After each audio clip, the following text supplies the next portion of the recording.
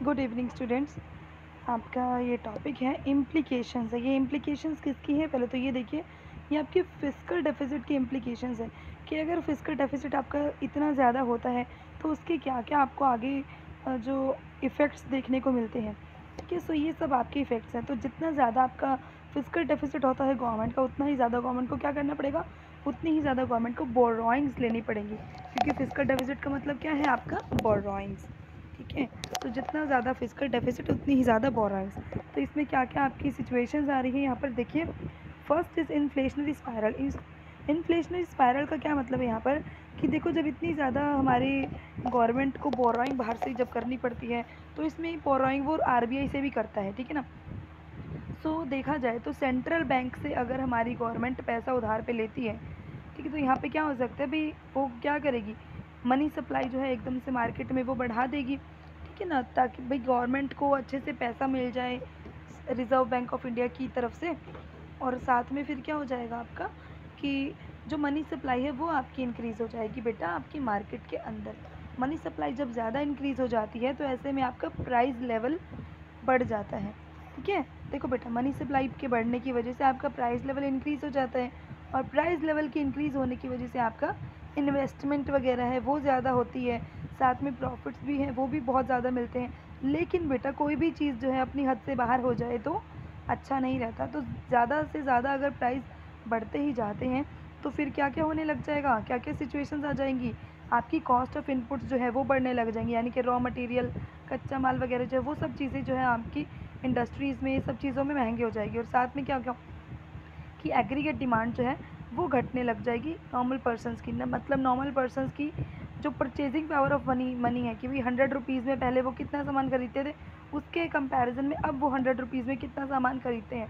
तो इन सब की वजह से क्या हो रहा है बेटा? कितना ही ज़्यादा आपकी यहाँ पर प्राइस बढ़ती जा रही है। प्राइस के बढ़ने से आपका कॉस्ट ऑफ़ इनपुट्स बढ़ रही है और आपकी एग्रीगेट डिमांड जो है एग्रीगेट डिमांड बोलते हैं आपकी मार्केट डिमांड कि पूरी मार्केट में सभी लोगों की समेशन ऑफ़ डिमांड को बोला जाता है आपका एग्रीगेट डिमांड तो एग्रीगेट डिमांड भी यहाँ पर घट रही है और इन सब की वजह से क्या होगा आपकी इन्वेस्टमेंट भी घटने लग जाएगी और इन्वेस्टमेंट घटेगी तो आपकी जीडीपी की ग्रोथ भी सफ़र करती है। सो so, इन सब की वजह से क्या होगा बेटा आपकी इकनॉमी जो है एक लो लेवल इक्विलिब्रियम ट्रैप में आकर फंस जाती है। भाई यहाँ से निकलना बहुत ज़्यादा मुश्किल हो जाता है और इकनॉमी की जो ग्रोथ है बहुत ज़्यादा स्लोली स्लोली होती है।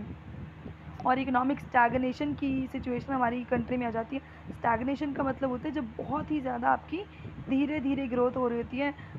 बेसिकली टू से ढाई मतलब ढाई से तीन परसेंट के आसपास। ओके नेक्स्ट पॉइंट है आपका national debts for future generation पीछे देखो, आज जितना हम डेट वगैरह लेते हैं, वो सब कल को हमारी फ्यूचर जनरेशन को भी तो पे करना पड़ेगा ना। भाई, अगर आज हम डेट फ्री रहते हैं तो हमारे आने वाली जो जनरेशन है, उनको भी कर्ज़ा वगैरह नहीं भुगतान करना पड़ेगा उनका, लेकिन अगर हम आज इतना इतना कर्ज़ा ले लेते हैं तो आगे आने वाले जो पर्सनस हैं, हम उन्हें एक तरीके से क्या दे रहे हैं, हम उन्हें कर्ज़ा दे रहे हैं कि ये आपने आना है और आपने उतारना है।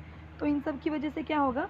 फ्यूचर जनरेशन को क्या मिलेगा? एक लगाड, एक लागर्ड इकोनॉमी मिलेगी। लागर्ड इकोनॉमी का मतलब होता है आपका भाई, बिल्कुल जहाँ पे स्लो स्लो ग्रोथ होती है, बहुत मामूली सी ग्रोथ होती है, कोई भी ज़्यादा तरक्की नहीं हो रही होती है। ठीक है? सो जहाँ पे आपकी जीडीपी की ग्रोथ बहुत ही ज़्यादा कम रहती है। तो अगर तो आपको देखेंगे ना कि जितना भी आप कमाएँगे आगे आने वाली जनरेशन में जितना भी पैसा कमाया जाएगा, वो सारा पैसा कहाँ चला जाएगा? रीपेमेंट ऑफ़ लोन्स में और उनके इतने इतने इंटरेस्ट में। तो सारा अपना देश का जो सरप्लस है, जो प्रॉफिट्स हैं ईयर आफ्टर ईयर वो सब कहाँ चला जाएगा? आप इनके डेट्स वगैरह को भरने में ही चला जाएगा। और हमारी जो इकनॉमी है, वो बिल्कुल वही स्लो की स्लो ही रह जाएगी। ठीक है? सो आपका ज़्यादा से ज़्यादा बोरोइंग्स करने के ये ये इफ़ेक्ट्स होते हैं। Next is vicious circle of multiplies borrowing ये विशियस सर्कल क्या होता है? पहले ये जान लेते हैं। बेटे विशियस सर्कल का मतलब होता है आपकी ऐसी सिचुएशन जहाँ पे दो दो आपके कंडीशन रखी जाती हैं, दो चीज़ें होती हैं, दो वर्स सिचुएशन आप बोल सकते हैं कि एक सिचुएशन की वजह से दूसरी सिचुएशन आपकी वर्स हो जाती है और दूसरे सिचुएशन के ज़्यादा वर्स होने की वजह से आपकी पहली कंडीशन जो है, पहली सिचुएशन जो है, वो और ज़्यादा वर्स हो जाती है। प्लीज़ इस चीज़ को ध्यान से देखें। यहाँ पर जो दो चीज़ें ली गई हैं, वो क्या है? एक आपका जीडीपी ग्रोथ और दूसरा आपका हाई फ़िज़िकल डेफिसिट तो आप देखेंगे यहाँ कि जीडीपी ग्रोथ के कम होने की वजह से आपका जो फ़िज़िकल डेफिसिट है, वो ज़्यादा से ज़्यादा हो जाता है। और आपके फ़िज़िकल डेफिसिट के ज़्यादा के ज़्यादा होने की वजह से आपका जो जीडीपी ग्रोथ है, वो और ज़्यादा लो हो जाता है। इसको एक्सप्लेन करते हैं कैसे भाई? देखो, अगर किसी भी देश में जीडीपी ग्रोथ जो है, अगर बहुत ज़्यादा कम हो रखा होता है। तो इसकी वजह से उसका फ़िज़िकल डेफिसिट बढ़ता है। क्यों? क्योंकि जितना भी रेवेन्यू आएगा, वो सारा का सारा उधार वगैरह चुकता करने में ही चला जाएगा। ठीक है ना? जब सारा का सारा पैसा जब यहीं चला जाएगा तो फिर क्या होगा? कोई भी अच्छे से ग्रोथ नहीं हो पाएगी, है ना? और अगर जीडीपी ग्रोथ हमारी लो है तो साथ में क्या होगा? अनएम्प्लॉयमेंट जो है, वो बढ़ेगा। अनएम्प्लॉयमेंट बढ़ेगा और वेलफेयर एक्सपेंसेस हमको ज़्यादा करने पड़ेंगे। गवर्नमेंट को गवर्नमेंट को वेलफेयर एक्सपेंसेस अपने ज़्यादा करने पड़ेंगे। रेवेन्यू जो है वो श्रिंक होता चला जाएगा। एक्सपेंडिचर्स हमेशा बढ़ते चले जाएँगे। और इन सब की वजह से क्या होगा? भाई जहाँ पे एक्सपेंडिचर जब बढ़ने लग जाते हैं, जब एक्सपेंडिचर हमारे इतने ज़्यादा हो जाते हैं तो फिर हमें बोरोइंग्स का सहारा लेना पड़ेगा। बोरोइंग्स लेंगे बोरोइंग्स वगैरह लेंगे तो हमारा फ़िज़िकल डेफिसिट बहुत हाई हो जाएगा। और दूसरी जगह पर क्या है? यहाँ पर दूसरी सिचुएशन क्या है आपकी? अगर high fiscal deficit led to growth low growth of G इसका मतलब क्या है? क्योंकि ऐसी सिचुएशंस में अगर बहुत ज़्यादा हम बल्क ऑफ़ गवर्नमेंट एक्सपेंडिचर कर लेते हैं वेलफेयर एक्सपेंडिचर बहुत ज़्यादा कर लेते हैं तो ऐसे में क्या हो जाता है, बहुत ज़्यादा हमको महँगा पड़ जाता है ये सब भाई जैसे सब्सिडाइज्ड फ़ूड वगैरह प्रोवाइड करते हैं हम, या ये सब, ये वाले हमको वेलफेयर एक्सपेंसेस पर हमको ज़्यादा खर्चा करना पड़ता है रादर देन इन्वेस्टमेंट एक्सपेंडिचर क्यों? क्योंकि लोगों के पास ही पैसे नहीं है ना। लोगों के पास खाने पीने को भी कुछ नहीं है तो गवर्नमेंट को अपने बच्चों का पेट तो पालना ही है ना, इसीलिए। So next is crowding out ये क्राउडिंग आउट का क्या मतलब होता है बेटा? कि फ़िज़िकल हाई फ़िज़िकल डेफिसिट जो है, इसकी वजह से आपका बहुत ज़्यादा अलग अलग सिचुएशंस आपको देखने को मिलती हैं। कैसे ये काम करता है कि आपका जो हाई फ़िज़िकल डेफिसिट है, इसकी वजह से ज़्यादा से ज़्यादा बोरोइंग्स जो है गवर्नमेंट को लेनी पड़ेंगी। ठीक है? फिर क्या सेकंड थिंग क्या है कि जितनी ज़्यादा भी बोरोइंग्स जो है गवर्नमेंट लेती है, उसकी वजह से क्या होगा? भाई अभी गवर्नमेंट इतना ज़्यादा पैसा अगर बोरो कर, करती रहती है तो जो और कंपनीज़ हैं, देख देख सकते हैं ना कि जो पैसा गवर्नमेंट ले रही है, वो पैसा कुछ और कंपनीज़ भी तो ले सकती थी ना।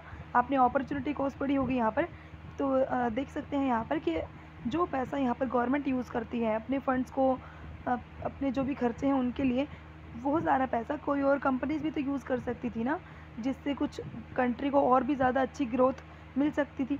ऐसे नेक्स्ट है आपका ड्रॉट ड्रॉट ऑफ़ फंड्स। ये ड्रॉट ऑफ़ फंड्स का मतलब क्या है कि बच्चे इतना ज़्यादा पैसा जो है वो बोरो कर लिया जाता है, जिसकी वजह से एक तरीके से आपके पैसों का ही अकाल पड़ जाता है कि बहुत ही ज़्यादा लो लेवल पर इन्वेस्टमेंट हो पाती है। भाई, जो पैसा लगाना चाहते हैं, जो पैसा इन्वेस्ट करना चाहते हैं, उनको भी पैसा अच्छे से नहीं मिल पाता और इस तरीके से आपकी ग्रोथ जो है, ये हार्म पर हो जाती है। Next is erosion of government credibility ये गवर्नमेंट की क्रेडिबिलिटी का क्या यहाँ पर सीन है, वो देखते हैं अब। कि बेटे जब आपका हाई फ़िज़िकल डेफिसिट रहता है ना तो इसकी वजह से क्या है आपके देश का जो कर्जा है वो मल्टीपल होकर बढ़ने लग जाता है और और हमारी गवर्नमेंट की क्रेडिबिलिटी घटने लग जाती है। भाई, दूसरे देशों के सामने भी ये बात आने लग जाती है कि हमारी गवर्नमेंट ने इतना पैसा जो है बाहर से उधार ले रखा है। तो इंटरनेशनल लेवल पर भी ये जो है इंटरनेशनल मनी मार्केट में भी ये सब चीज़ें पता लगने लग जाती हैं। तो इसकी वजह से क्या है हमारी क्रेडिट रेटिंग जो है गवर्नमेंट की वो घटती है। और क्रेडिट रेटिंग कहीं भी, कहीं की भी घटेगी तो जो ग्लोबल इन्वेस्टर्स हैं, जो वर्ल्ड वाइड इन्वेस्टर्स हैं, वो सब हमारी कंट्री से क्या करेंगे? अपनी विड्रॉ अपनी इन्वेस्टमेंट को विड्रॉ करना स्टार्ट कर देंगे। भाई, नहीं, हमें आपके साथ काम नहीं करना है या कुछ भी ऐसा हो सकता है। इन सब की वजह से क्या होगा? हमारी जो डोमेस्टिक करेंसी है, उसका रेट जो है, वो बहुत ज़्यादा घट जाता है और एक्सचेंज रेट जो है, वो बढ़ने लग जाता है। एक्सचेंज रेट के बढ़ने का क्या मतलब है यहाँ पर? कि जितना भी आप बाहर से इम्पोर्ट वगैरह करते हैं, वो तो महँगा हो जाता महँगा हो जाता है और गवर्नमेंट के जो एक्सपेंसेस हैं इम्पोर्ट पर, वो बहुत ही ज़्यादा बढ़ जाते हैं। तो आप कई कई बार देखते हैं भाई, इतना ज़्यादा इन्वेस्टमेंट जो है गवर्नमेंट को करना पड़ता है। सो ताकि हमारी जो इकनॉमी है, वो धीरे धीरे करके अच्छे से स्टार्ट हो सके। और इन सब की वजह से क्या है, हमें दूसरों के आगे घुटने टेकने पड़ते हैं। कैसे हमारी गवर्नमेंट को दूसरों से हेल्प मांगनी पड़ती है और हेल्प मांगने के के लिए उनको हमें अपनी देश का कुछ पार्ट जो है एक तरीके से सौंपना पड़ता है कि ये लीजिए ये सेक्टर आप ले लीजिए, वही फॉरेन सेक्टर्स को फॉरेन कंट्रीज़ को दे दिया कि ये वाली चीज़ आप संभालिए, जितना चाहे आप कमाइए और हमें जो है उस कुछ सालों के बाद ये इनकम हमारी हो जाएगी। वो वाला केस जो है यहाँ पर आ जाते हैं। तो इन सब की वजह से क्या आप देख रहे हैं कि फ़िज़िकल डेफिसिट जो है, बहुत ज़्यादा आपका ख़तरनाक पड़ जाता है यहाँ पर, क्योंकि आप जितनी भी ज़्यादा बहुत डिसएडवेंटेजेस इसकी बहुत ज़्यादा है, ठीक है? सो फ़िज़िकल डेफिसिट जितना ज़्यादा होता है, उतनी ज़्यादा गवर्नमेंट को बोराइंग्स लेनी पड़ती है। और इन सब की वजह से क्या है बोराइंग जितनी भी ज़्यादा होंगी, उतनी ज़्यादा जीडीपी की की जो ग्रोथ है वो लो होएगी अनएम्प्लॉयमेंट बढ़ेगा और गवर्नमेंट को रेवेन्यू वगैरह कम मिलेगा और वेलफेयर एक्सपेंसेस को ज़्यादा करना पड़ेगा और इन सब की वजह से क्या है गवर्नमेंट हमारी स्टैगनेशन में चली जाएगी। स्टैगनेशन मतलब बहुत ही low rate of GDP growth और इन सब की वजह से इन्वेस्टमेंट के लिए फ़ंड्स भी हमारी गवर्नमेंट को बहुत कम मिल पाते हैं। ठीक है सो ये थी आपकी फ़िज़िकल डेफिसिट की इम्प्लीकेशन बेटे पूरा टॉपिक बहुत अच्छे से समझा करो कुछ नहीं समझ में आता है तो प्लीज़ मैसेज करो मुझे।